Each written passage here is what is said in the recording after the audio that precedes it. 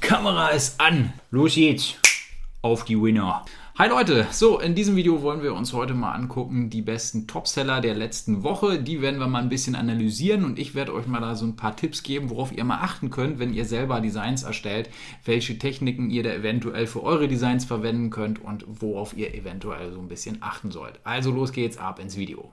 Das Programm, was wir hier benutzen, ist der Merge Report. Da haben wir die verschiedenen Möglichkeiten hier natürlich Research zu machen und unter anderem auch Bestseller. Link dazu ist unten in der Videobeschreibung. Code dazu steht auch gleich daneben. Da kriegst du noch ein bisschen Rabatt. Ist ein Affiliate-Link, muss ich dazu sagen.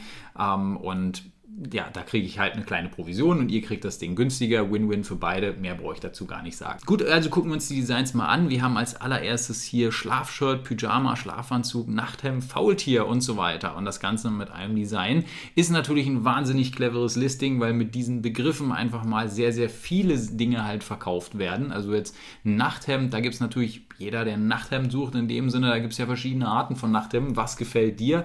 Hier wurde das natürlich jetzt mit einem Motiv ja, bedruckt, was, was sehr ist, einfach für die Nische, Nische, äh, für die Nische schlafen. Mein Gott, heute haben wir es aber. Und was wir hier auch zusätzlich sehen, du siehst auch von der Schriftart ist es hier nichts Experimentelles, also wirklich sehr, sehr schlicht gehalten.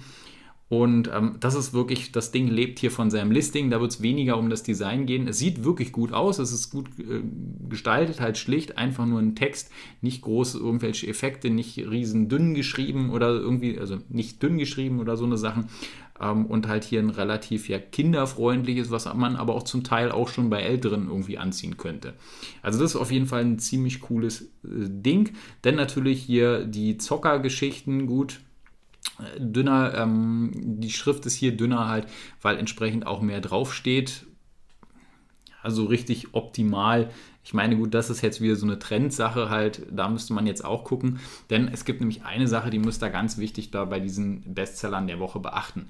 Du hast jetzt hier nicht nur organische Sachen drin, sondern auch welche, die beworben sind. Andere, die haben zum Beispiel Promotionen bekommen durch irgendwelche Influencer und Co. Da gibt es ja auch welche, also wenn wir jetzt hier an Shane Dawson, Sean Dawson da immer noch so denken, der hatte ja auch immer sein äh, Pick-Shirt da drin. Und das Ding wurde ja auch gelistet entsprechend, weil es, weil es halt durch YouTube-Traffic bekommen hat und nicht durch ein sehr, sehr gutes Listing. Also gucken wir hier weiter. Ähm, ich kann dich nicht hören. Ich zocke wirklich klassisches Gamer-Klischee. Hier auch wieder, ähm, ich höre dich nicht, ich zocke. Na, welche Designart könntest du wohl wahrscheinlich machen in nächster Zeit? Kannst du dir fast denken, so in dem Sinne. Ähm, Gaming ist halt einfach jetzt wirklich auch für die Jahreszeit ziemlich passend wieder. Jetzt sind die Leute mehr zu Hause, auch jetzt durch diese ganze Krise, was wir alles haben, da ist man ja auch ein bisschen nach Hause gezwungen. Und die Leute, die jetzt Cyberpunk auf PS4 haben, gucken jetzt gerade in die Röhre. Dazu gehöre ich auch und ich habe mir sogar die Special Edition geholt. Ja, sie haben es versaut, was soll man sagen, aber es bleibt einem nichts anderes übrig. Äh, zur Not haben wir ja noch Call of Duty. So, dann haben wir wieder hier ein Dubbing-Design. Ich sage es euch ja immer wieder, trotzdem machen es die wenigsten Leute. Ähm, eine ziemlich coole Zusammenstellung. Hier wird jeder bedient, egal was er sucht. Also von Weihnachtsmann ähm, bis Elfe, genau Rentier. Zeug, Schneemann und Dings, so nach dem Motto. Und wieder der Klassiker zu dem, was jetzt kommt, also wieder die Festtage plus halt diese Dubbing-Trend. Und damit hast du wieder eine ziemlich gute Kombination. Ist auch sehr, sehr hochwertig hergestellt, also die einzelnen Vektoren. Wir können uns das Ding ja mal einzeln angucken.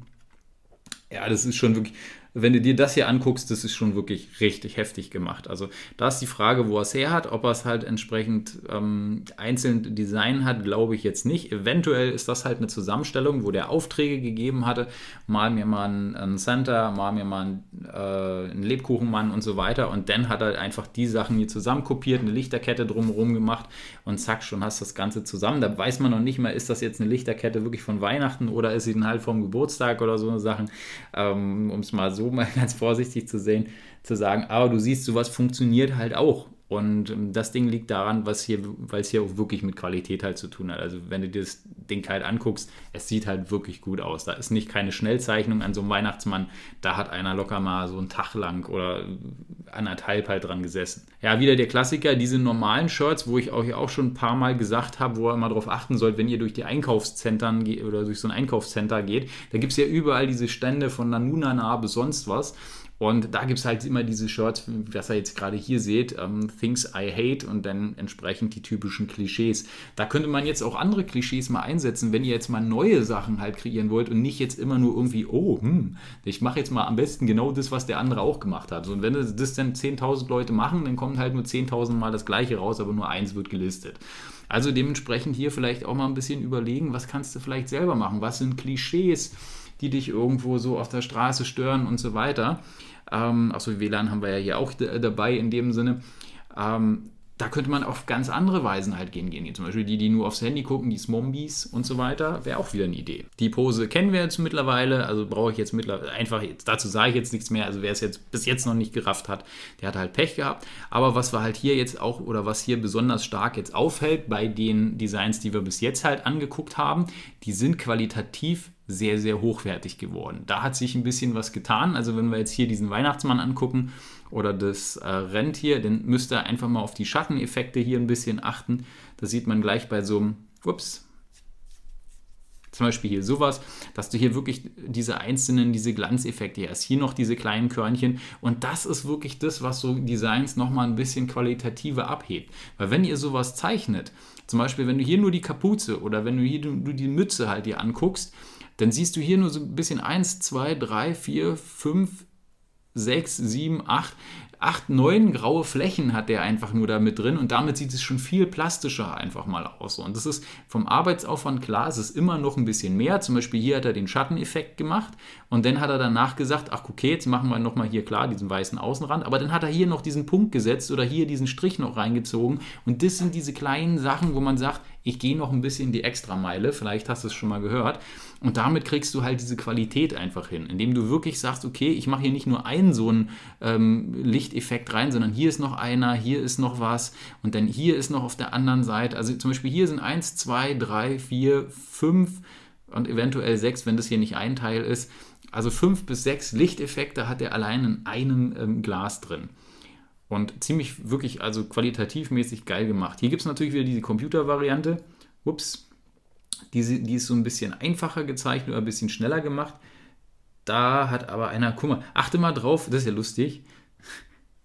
Na, ähm, achtet mal drauf, hier unten das, das könnte man fast sagen, ah, hat er da beim das sieht, das sieht so aus, als wenn hier jemand äh, das Ding fertig irgendwo gekauft hat. Dann wollte er hier nur das Oberteil benutzen, wollte das löschen, weil jeder, der einen Illustrator hat, der kennt das. Wenn ihr nämlich so eine bisschen komisch gestalteten Sachen habt und da die Punkte löscht, dann bleibt nämlich noch meistens so ein X halt übrig. Und das ist genau das, was er hier nicht hingekriegt hat. Ähm, da hätte er das Kapitel aus meinem Kurs gucken müssen, und zwar Vektoren ähm, ausbessern oder Fehler ausbessern. Damit hätte er den Trick wieder hingekriegt, dann hättest du wieder eine glatte Sache gemacht. Also wenn du die gesehen hast, reingucken in den Kurs, da kriegst du es auf t-shirtfrank.de, da siehst du unten, wie du den glatt machst. Aber da du hier oben bist, kurze Unterbrechung, wenn es dir bis hierhin gefallen hat, auf jeden Fall einen Daumen da lassen und natürlich auch ein Abo und die Glocke aktivieren, dass du hier keine weiteren Tipps verpasst. Letzte Woche habe ich es nicht ganz so geschafft, meine Projekte zu starten oder besser gesagt gar nicht geschafft, weil es so viel schiefgegangen ist ähm, dass ich jetzt das Ganze nochmal verschieben musste. Deswegen habt ihr es jetzt mitgekriegt, dass die Videos halt einmal nicht rauskamen.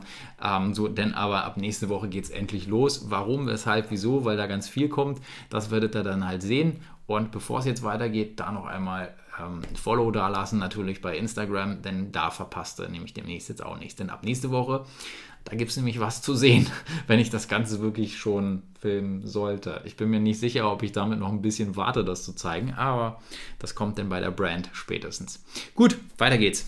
Dann gucken wir mal ähm, weiter. Also wieder auch ein, also es ist wirklich ein schönes Design. Also hat er wirklich, muss man hier wirklich nochmal sagen, also gucken wir uns nochmal hier an. Finde ich voll geil. Sieht, sieht top aus. Also auch das Auge, wenn ihr euch mal das Auge anguckt, also wirklich schön gemacht. Also geil. Auch wenn es, das war tausendprozentig ein Fertigvektor, der, den hat er nicht gezeichnet. Aber hier siehst du auch wieder diesen Ich zocke. Ähm, das ist halt wirklich ziemlich simpel halt gemalt. Da könnte man wieder sagen, High-Quality-Vektor. Wir haben ja schon oben einen drin, wie uns aufgefallen ist. Wo habe ich den, den gesehen? Da, muss ich das sagen. So, wieder den hier, den hatten wir ja auch schon, wollte ich gerade sagen, den hatte ich auch schon in Auftrag gegeben.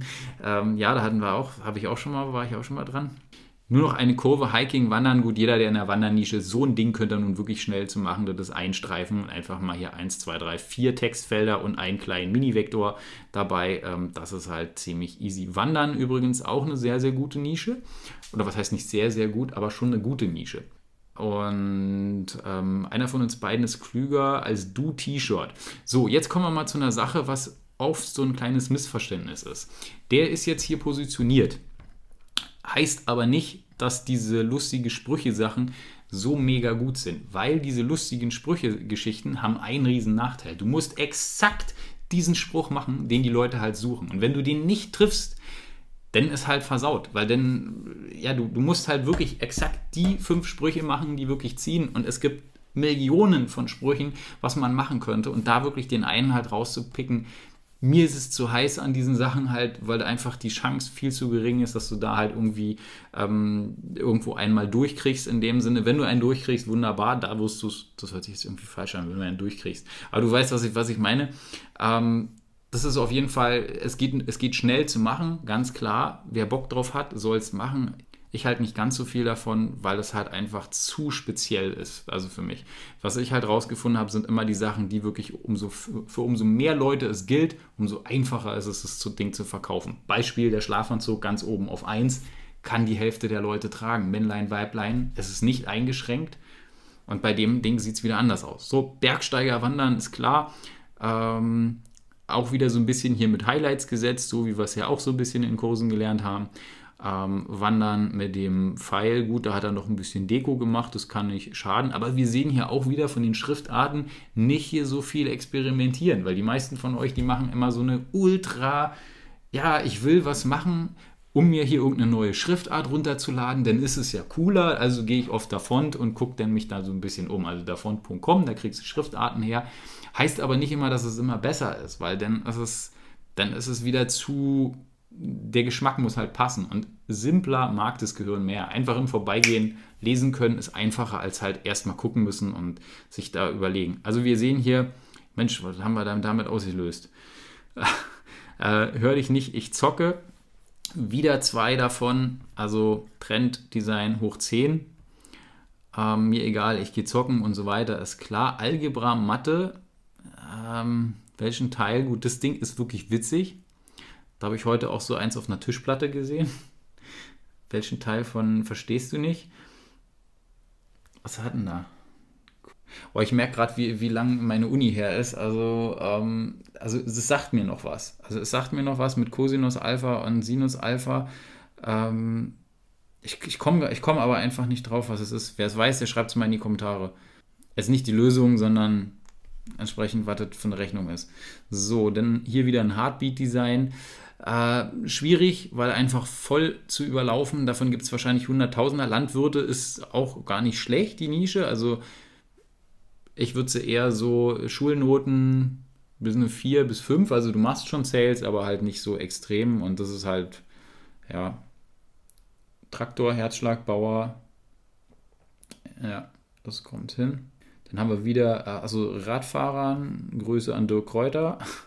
Lustiger Radfahrerspruch, warum ich ohne Akku fahre, T-Shirt. Achso, naja, weil ich es kann.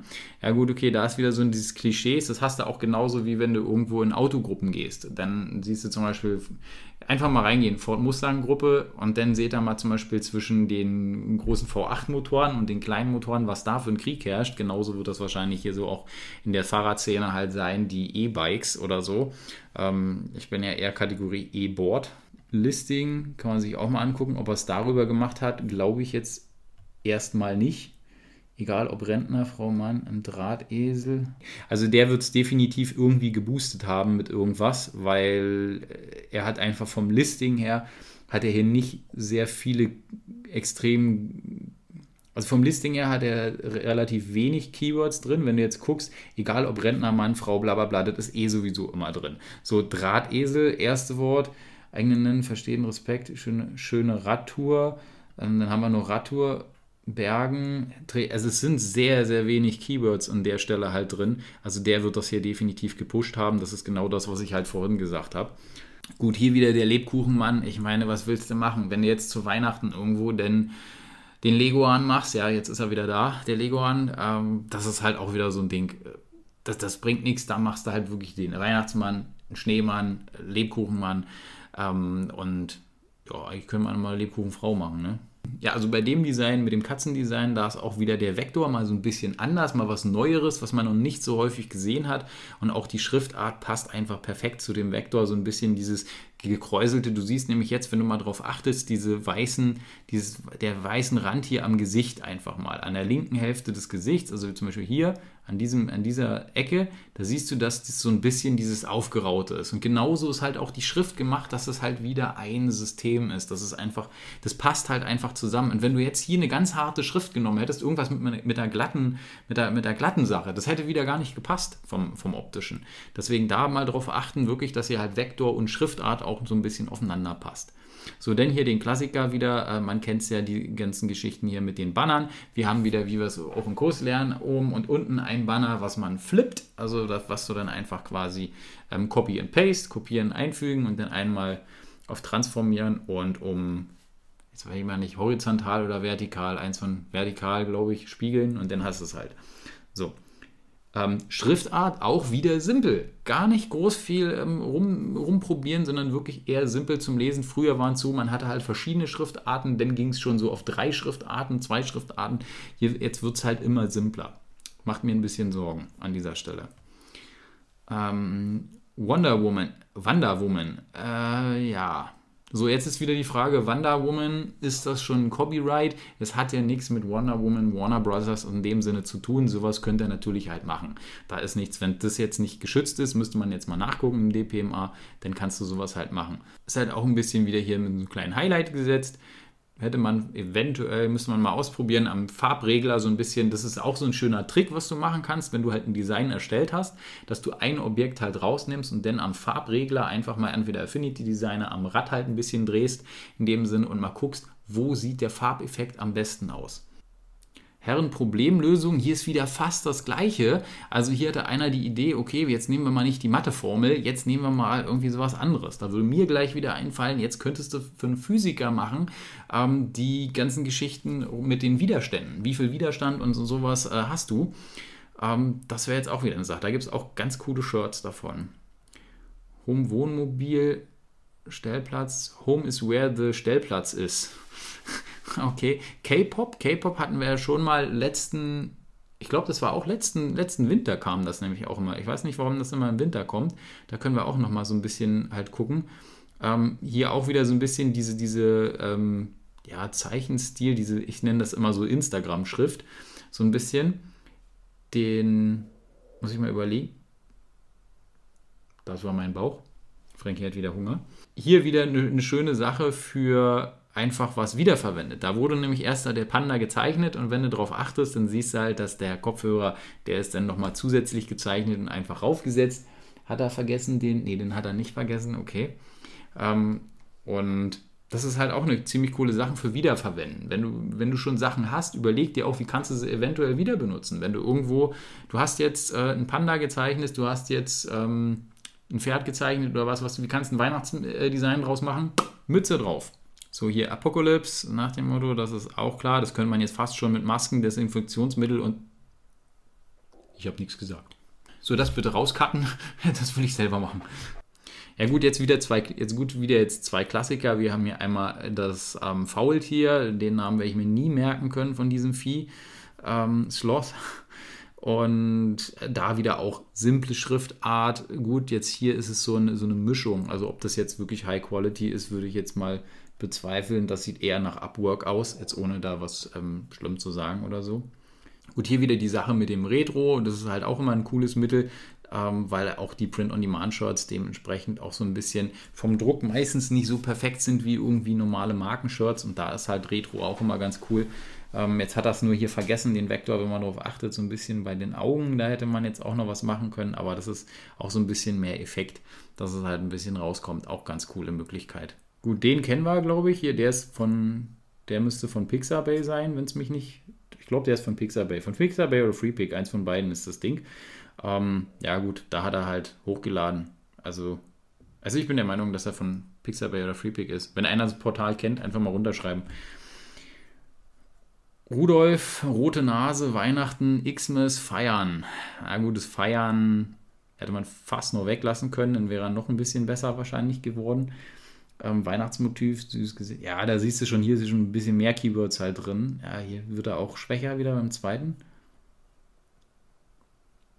Gut, das war jetzt mal so ein kleiner Einblick in die 50 besten Designs der letzten Woche. Ich hoffe, dir hat das Ganze halt gefallen. Lass mir gerne hier auch einen Daumen und natürlich ein Abo da, wenn du diesen Kanal ein bisschen weiter nach vorne pushen willst. Dann wie immer viel Spaß beim Ausprobieren der Tipps und natürlich wie immer gute Verkäufe.